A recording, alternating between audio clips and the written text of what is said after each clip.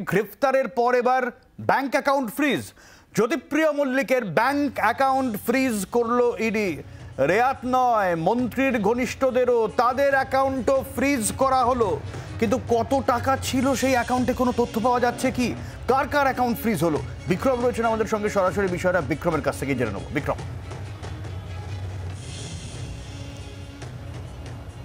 দেখো, রেশন বন্টন দুর্নীতিকাণ্ডে এনফোর্সমেন্ট ডিরেক্টরেটের তরফ থেকে এবার কিন্তু জ্যোতিপ্রিয় মল্লিকের যে ব্যাংক অ্যাকাউন্ট সেই ব্যাংক অ্যাকাউন্ট ফ্রিজ করা হলো এবং একই সঙ্গে তার পরিবারের সদস্যদের যে ব্যাংক অ্যাকাউন্ট তাও ফ্রিজ করা হয়েছে। আমরা যেটা জানতে পাচ্ছি যে তার ঘনিষ্ঠ একাধিক ব্যক্তি, তাদেরও কিন্তু ব্যাংক অ্যাকাউন্ট ফ্রিজ করে দেওয়া হয়েছে এবং সব মিলিয়ে যে কটি ব্যাংক অ্যাকাউন্ট ফ্রিজ করা হয়েছে, তার মাধ্যমে ষোলো কোটি টাকা ফ্রিজ হয়েছে। আমি আবারও বলব, ষোলো কোটি টাকা কিন্তু এই অ্যাকাউন্টগুলিতে ফ্রিজ করে দেওয়া হয়েছে এনফোর্সমেন্ট ডিরেক্টরেটের তরফ থেকে। নির্দিষ্ট ব্যাংকগুলিকে চিঠি দিয়ে লেটার দিয়ে এবং নোটিশ দিয়ে এমনটা আমরা ইডি সূত্রে জানতে পারছি। কিন্তু কেন এই টাকা কেন এই অ্যাকাউন্টগুলো ফ্রিজ করা হলো? ইডি সূত্রের খবর যে সমস্ত অ্যাকাউন্টগুলি ফ্রিজ করা হয়েছে, সেখানে কিন্তু দুর্নীতির টাকা গিয়ে ঢুকেছে, অর্থাৎ প্রসিডস অফ ক্রাইমের ট্রেল সেখানে গিয়ে পৌঁছেছে, এমনটাই তদন্তকারীরা দাবি করছেন এবং সেখানেই জ্যোতিপ্রিয় মল্লিক এবং তার পরিবারের সদস্যদের নামে একাধিক অ্যাকাউন্ট রয়েছে। তাই নয়, ইডির তরফ থেকে যেটা বলা হচ্ছে যে অ্যাকাউন্টে কিন্তু বিভিন্ন সময় ক্যাশ ডিপোজিট করা হয়েছে। সেই ক্যাশ ডিপোজিট কিন্তু ভোর্থ কারোর্স করা হয়েছে। কোটি টাকার ওপরে কিন্তু ক্যাশ ডিপোজিট করা হয়েছে। কীভাবে সেই টাকা এসে পৌঁছালো সেই ক্যাশ টাকার উৎস কি? কারণ জ্যোতিপ্রিয় মল্লিকের কন্যা তাকে যখন তল্লাশি অভিযানের দিন জিজ্ঞাসাবাদ করা হয়েছিল যে প্রায় চার কোটি টাকা তিনি কোথা থেকে পেলেন যেই টাকা তিনি তার অ্যাকাউন্টে ডিপোজিট করলেন তিনি বলছেন জ্যোতিপ্রিয় মেয়ের জ্যোতিপ্রিয় মল্লিকের কন্যা বলছেন যে তিনি টিউশনি করে যে টাকা আর্ন করেছিলেন সেই টাকা তিনি ওখানে ওই অ্যাকাউন্টে ডিপোজিট করেছেন। এখানেই বিক্রম তদন্তকারীদের আরেকটু থামাবো তোমাকে এটা নিয়ে আরেকবার মানে বিশেষ করে এটা নিয়ে জিজ্ঞেস করব যে জ্যোতিপ্রিয় মল্লিকের কন্যা, তিনি দাবি করছেন যে চার কোটি টাকা।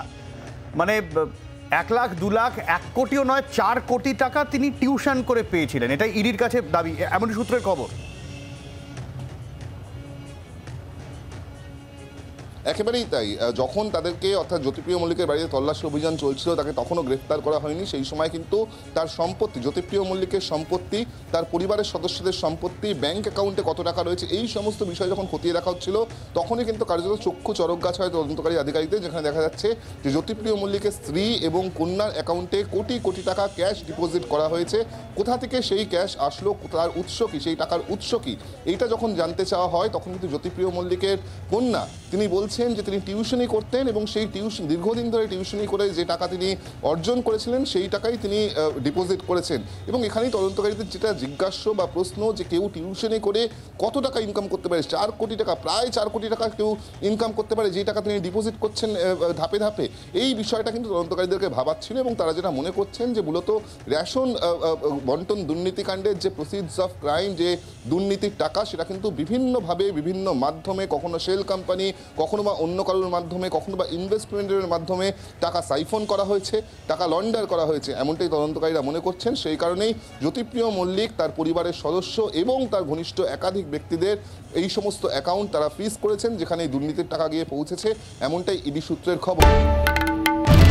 বাংলার আওয়াজ, বাঙালির আবেগ। জি, চব্বিশ ঘণ্টা।